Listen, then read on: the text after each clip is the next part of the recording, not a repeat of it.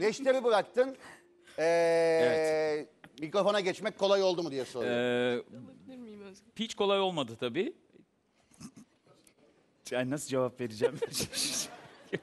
Kafam şeye takıldı da kusura bakmayın. İşte yapmasan takılmazdı.